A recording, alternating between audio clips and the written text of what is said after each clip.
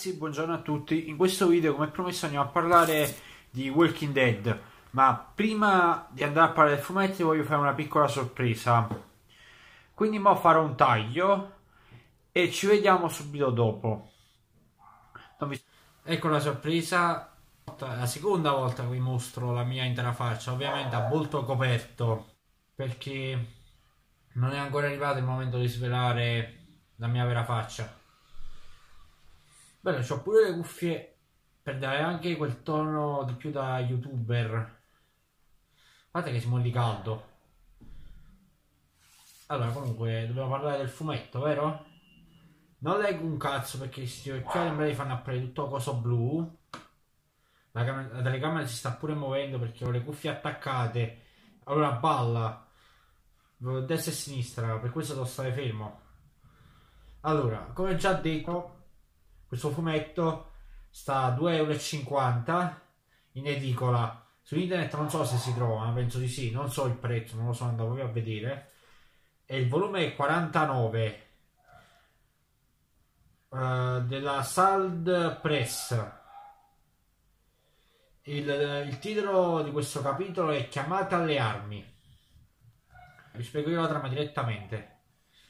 Allora, Uh, voi lo sapete, voi avete visto le stagioni di Walking Dead e bene o male sono, sono arrivate allo stesso capitolo, questo qua, però quello che ho notato io è che c'è Rick che è proprio vecchio, è zoppo e ha perso un braccio.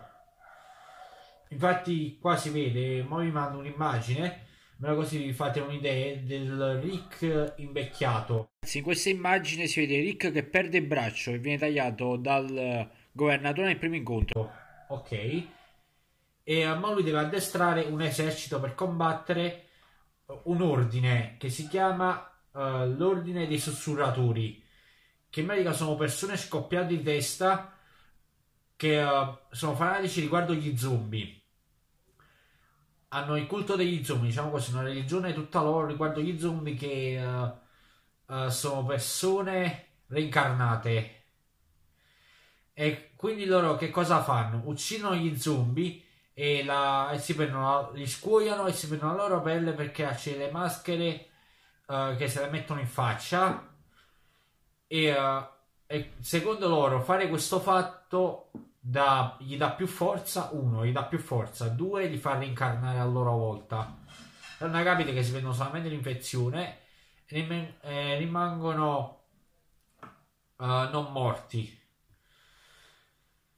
E allora uh, Rick ha deciso di fondare questo esercito per combattere i, gli, i sussurratori.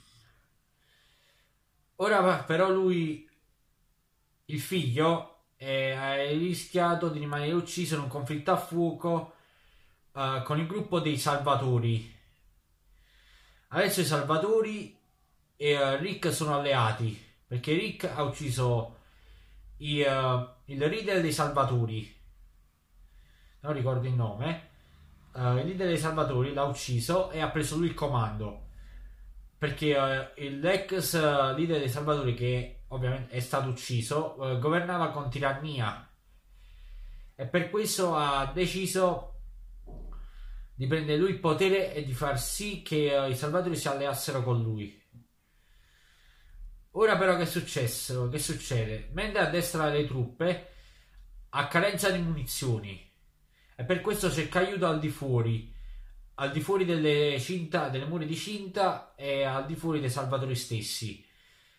E mette a punto una rete di comunicazione usando una radio vecchia della seconda guerra mondiale che aggiusta, eh, si mette in contatto con una ragazza che non si sa di dove precisamente, infatti non gli vuole dare tante informazioni per il semplice fatto che uh, non sa dall'altro lato chi c'è, quindi è meglio evitare.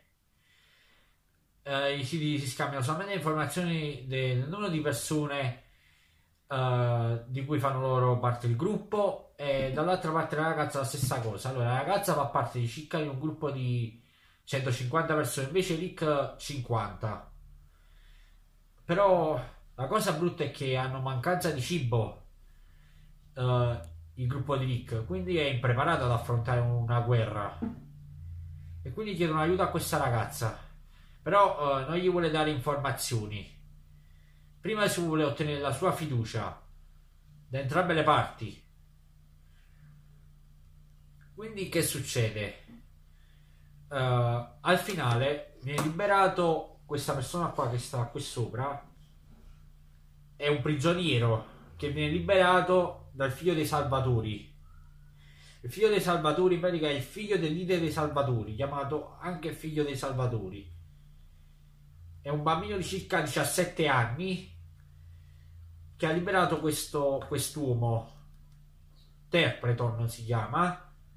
È sfregiato, ma perché lui è un ex militare ed era già stato sfregiato in precedenza prima che avvenisse l'apocalisse zombie.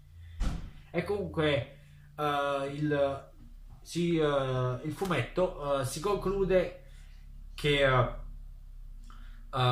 Terpreton riesce a fuggire da, da, Rick e si dirige dai sussurratori per riferirgli che sta, Rick sta preparando un esercito per affrontarli.